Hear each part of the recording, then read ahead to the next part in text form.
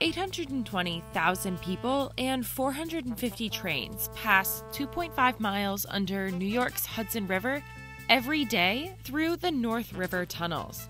The two tunnels are critical for the transportation of commuters from New Jersey and the West. But they're 120 years old. Their concrete walls are eroded from contaminated floodwater and their electronics often short circuit and melt down. But 20% of the nation's gross domestic product relies on this one tunnel. A recent study showed that if just one of the two tracks in the tunnel went down, it would cost the regional economy $16 billion. But projects to restore the old tunnels and even build new ones are stifled. And that's worrying because this is New York City's big tunnel problem. Infrastructure construction was booming in New York at the turn of the 20th century. Commuters needed ways to get in and out of the city, and there was money to be made in the train business. For decades, those coming in and out of Manhattan from the west would take a train to the banks of the Hudson River and transfer to a ferry across the river. This transfer process required shipments of goods and materials to be unloaded from trains, loaded onto barges, and unloaded yet again to trains and carriages. This also dangerously clogged the Hudson River with ship traffic. This is Jill Jonnes, historian and author of Conquering Gotham. Hudson River and the Manhattan waterfront were very, very busy. Uh, New York was the busiest seaport in the world. There were accidents, and ferry boats would go down. And very typically, these ferry boats carried about a thousand people. The Hudson River is a, a mile wide, so it's it's a bit of a long swim. But in the late 1800s, one company looked to change that. Alexander Cassatt, the president of Pennsylvania Railroad, wanted to tunnel under the Hudson to bring New Jersey commuters directly into a brand new station. Proposals for this hypothetical cross Hudson connection were advanced in the late 1800s, and some construction progress was made. But it was halted after numerous accidents and fatalities. Also, financial panics in the 1870s and 1890s scared off potential investors. It wasn't until the early 1900s that the plans got traction and construction of the tunnels officially began. The thing that Cassatt could not bear was that the Vanderbilts, their great rivals who owned the New York Central, all of their passengers came into a different Grand Central than we know today, but very much in a similar place. And they came in on trains down uh, the Hudson River, having crossed further above. On the other side of the tunnel, workers were building Penn Station. Penn Station covered eight acres and was inspired by the Roman baths of Caracalla. It had an 148 foot high coffered ceiling and was heralded as a beautiful example of Beaux Arts architecture. It was considered even more beautiful than New York Central Railroad's Grand Central, which had opened in 1871. Penn Station was a feat of architecture and design. But building a mile long tunnel under one of the busiest waterways in the world in the early 1900s? Now that was simply remarkable. The project consisted of building two parallel tunnels that would each start on opposing sides of the river and connect at a center point below the Hudson. Workers used an 194 ton circular metal shield that was roughly the size of the tunnel opening. The shield had hatches that were left open so that when workers pushed it through the soft river mud, the mud would ooze through the hatches, where it would then be shoveled out by workers workers would push the shield inch by painful inch through the riverbed. The tunnel was meticulously pressurized to prevent collapses and ribbed with steel rings. The men who worked, they were known as sandhogs, were all at risk of um, emerging from the tunnel and uh, being afflicted with the bends. When the newly dubbed North River tunnels opened in 1904, it was a bright time for trains and their tunnels. PRR believed wholeheartedly that trains were the future of American travel, and they owned the most beautiful station in the country. But, of course, they were wrong. And then, of course, after World War II, everything changed in ways that I don't think anyone in the railroad business ever imagined. And obviously, there was the automobile. But more to the point, there were planes, airplanes. By the 1950s, train companies were facing dire financial issues. Penn Station, which had been built with the intention that ridership would increase, not decrease, were falling quickly into disrepair.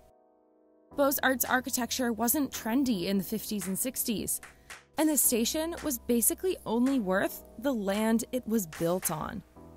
Pennsylvania Railroad decided to make a drastic decision. They sold the air rights above Penn Station, which meant that the station had to be torn down.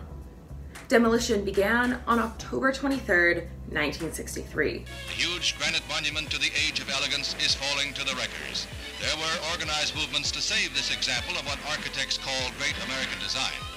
The underground tracks will remain, but the station with its famous clock will be replaced by a modern sports palace, the end of a landmark.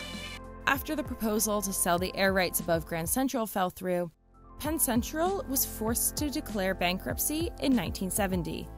It was, at the time, the largest bankruptcy in US history.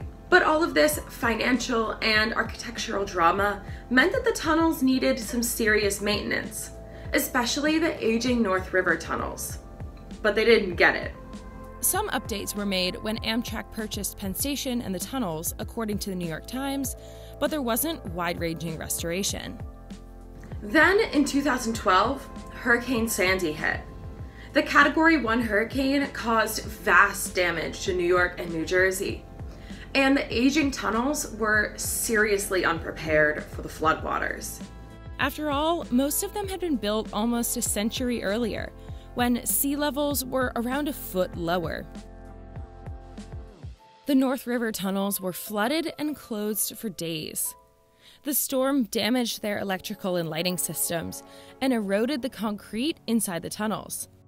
The 12,000 volt copper cables buried in the concrete began to short circuit and melt down, and still do to this day. Sandy cost the city in total $19 billion.